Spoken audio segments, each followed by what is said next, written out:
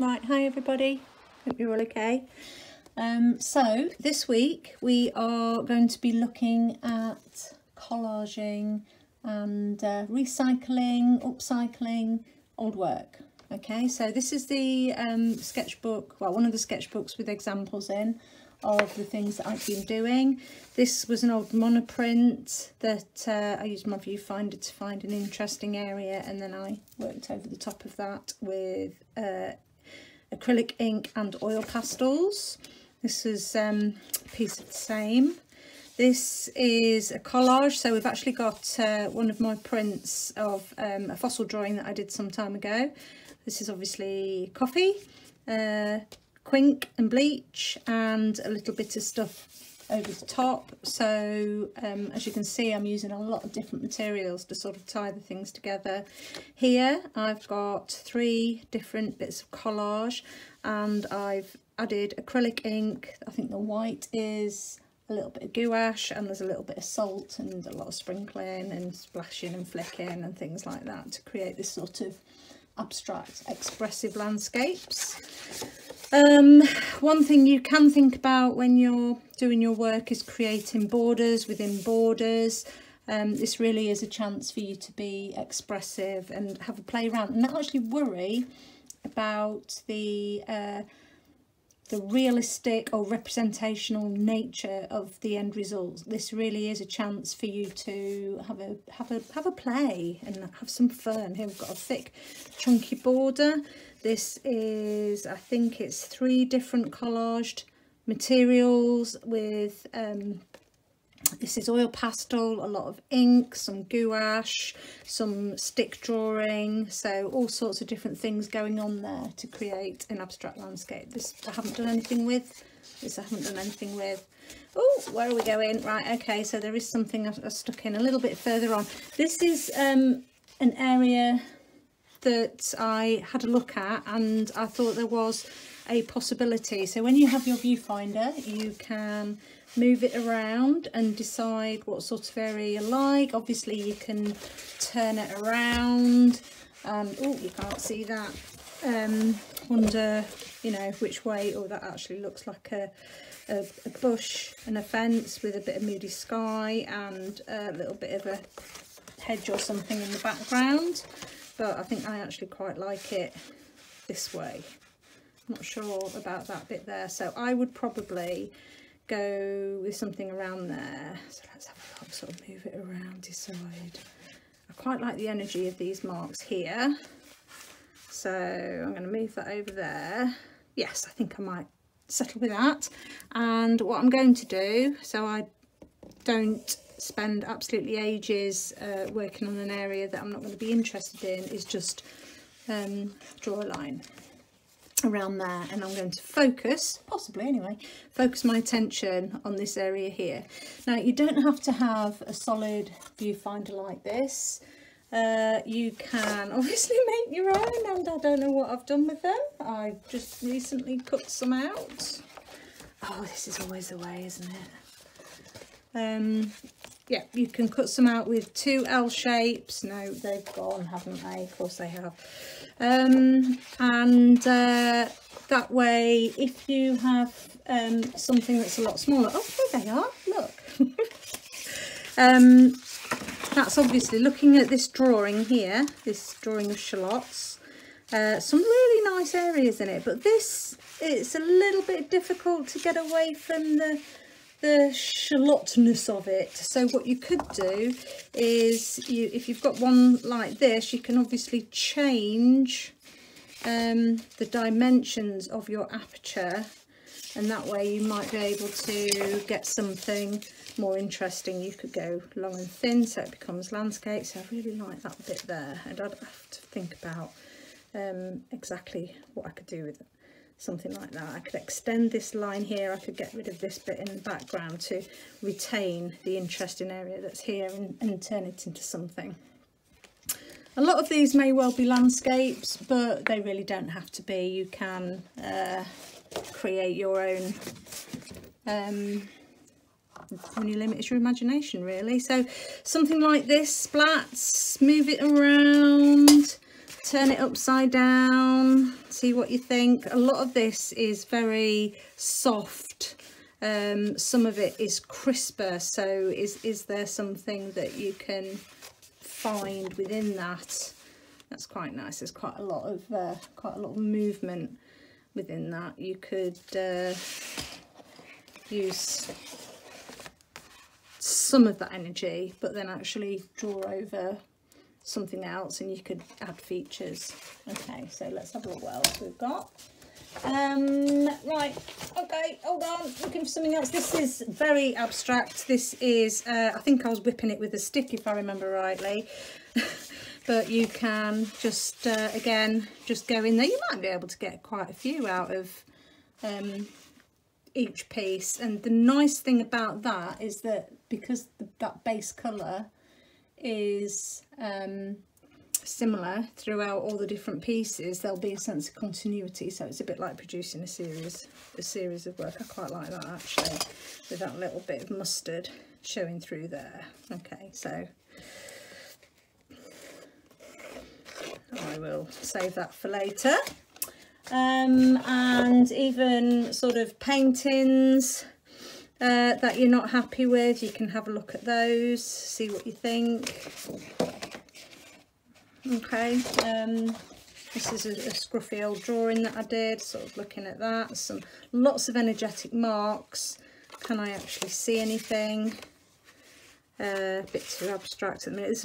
There's a lovely sort of shape here that could be a tree. What does it look like? The other way up I suppose that could be that could be sort of like a leaning tree and you could work into these bits here.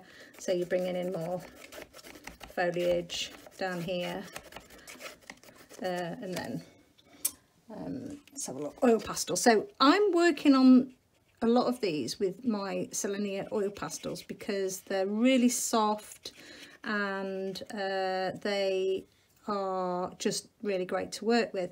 You might struggle if you have um, a really cheap set of oil pastels you might actually struggle with that. Um, but if you've got some nice nice oil pastels it's definitely worth sort of bringing those in. So this what's is that similar to that colour? Not quite. Let's have a look. Uh, that one that might be a good colour. So yeah go over that. Just move that out of the way and sort of blend that in. Um, do bring, if you've got it, a dip pen and your ink. It'll be really great to, to get some really, really bold marks on here. And of course you can do a little bit of flicking and splatting. It'd be uh, good to represent um, things like foliage and undergrowth and things like that okay so let's have a look at it now. Obviously it's still wet so I wouldn't actually I'd wait until it dried to look at it to check on it but already that's starting to look a little bit more like a landscape. It's very expressive it's very loose but that's exactly the sort of thing that we're looking for. Right so that is just drawing straight onto a piece and turning it into something else the other thing that you might look to do is to actually create a collage. So I've already established that uh, I quite like this. It's almost like broken fence with a little bit of water underneath broken bridge or something like that maybe.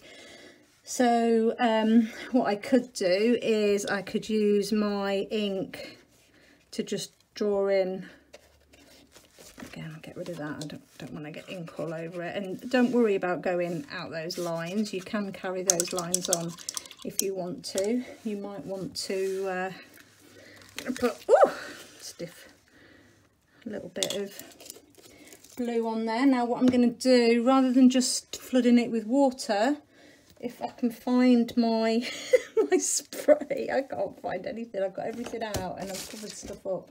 Oh I'm so I'm sorry about this. Maybe I'll have to use, use a brush and some water. I'm just going to sort of flood it in and let that run. That's a little bit on the fierce side. So what we'll do straight away, we'll just go in and just lift a little bit of that out. so it's not, not quite so strong. I might actually just, oh no I won't because it's still wet, but when this is dry I might just bring a little bit of that blue up here as well. Uh, but what I want to do with this one, I want to include a little bit of collage. So uh, going back to this sheet here, what I could do, I've got some interesting um, liney bits here. So if I tear, tear it in the right direction, I should be able to get um,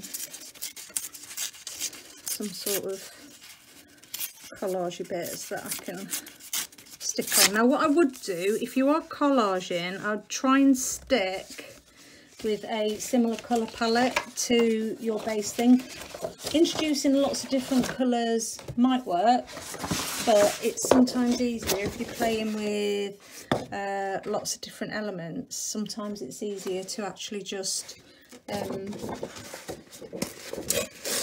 stick with the sort of colour scheme that you've already started with. So that's quite quite dark, isn't it? So let's oh right, tear it away and then I won't get that silly silly border. Oh, science of tearing paper, who'd have thought it?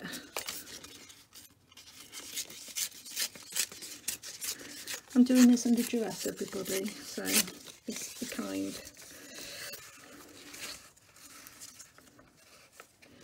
So, might put it there, might put it there actually. Okay. Um, so I'll get some glue on it.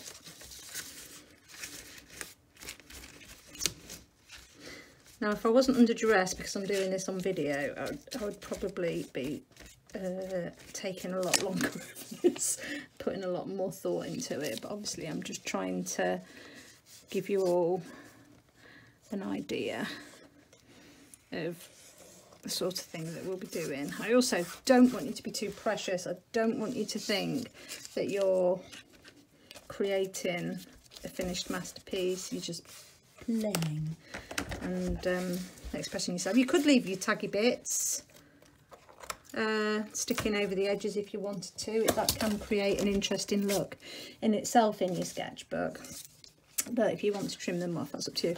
Now you could even introduce if you've got uh, printed pictures. I'm forever printing um, things off. I've got hundreds and hundreds of my photographs which this was going to be lino cut can you imagine? Um, so if you've got something that is the right sort of uh, texture color subject matter whatever. There's absolutely no reason why you can't um, stick printed images on. And again you'll be working over those as well to sort of tie it in. You wouldn't necessarily just collage and then um, just collage over the top and then run. You'd uh, collage and, and then go in with your pastels and your ink and your watercolours and things like that okay so that's analogous to the rest of the colour scheme so I quite like that. Right so it's a, it's a bit bonkers but it gives you an idea of um, the sort of thing. Once that's dry and that can be an issue I'll talk about that in a second. I'm looking for my viewfinder and I've lost it. Oh this place honestly. Uh, right okay so um, once you have your your image you could draw a thick border around it. Um, you could just leave it as it is. You could extend it off the page. It can be as big or as little as you like. Okay. Now regarding allowing things to dry I would hope that this week you'll probably produce five six seven of these okay? So what you will probably want to do is you probably want to bring some loose paper so you can put stuff to one side um, and allow them to dry and you'll flip from one to the other and then come back. And then when they're all dry then you can actually go and stick them in. Okay? Um, so I think that gives you an idea hopefully the sort of thing that you're going to be doing. I hope I haven't waffled too much let me know if you've got any questions okay see you on Friday bye bye So just when you thought it was safe, I'm back. So I've carried on working into these two a little bit. So I'm just going to put that, ooh, if I can find where it is. Right, okay. So I've carried on uh, working on this one. So that is how it looks now. It's a little bit messy um, I would probably let this dry and I would probably then put some glazes or something on these areas to try and uh, knock them back a little bit. What did I do? I added some oil pastel um, and some acrylic ink up here and did a little bit of splashing. I collaged the rest of my um, paper onto here and I just thought it was too bright so I really quickly brushed some acrylic ink over the top and then wiped it off again. So there's that bit that I collaged on originally. And then I, uh, as you can see, scribbled over the top to try and carry on this sort of intertwining, uh, ivy, messy, struggly, all that sort of thing. Okay, so that is how that one turned out. And the other one, it's a little bit tidier, this one. So I carried on um, adding uh, oil pastel into the background. There are a couple of um, trunks, well what I saw as tree trunks here which I uh, got rid of and I just basically worked up the area in the foreground uh, using pencil, acrylic ink, white pencil, um, did a little bit of splashing because you'll always see a bit of splashing on my work um, and it's okay, it's all right. I then drew with a water-soluble pen around the outside and just put water on the outside so the inside edge remained crisp and the outside edge ran a bit. What I will probably do is go over that again so it's heavier, so it's like a, a crisper um, definition from this, this messy bit and that. Of course I could just like stick a little bit of uh, paper over the top of it so it's got a nice tidy outside but I mean it doesn't really matter it's just a piece of sketchbook work. Okay well, there you go. Bye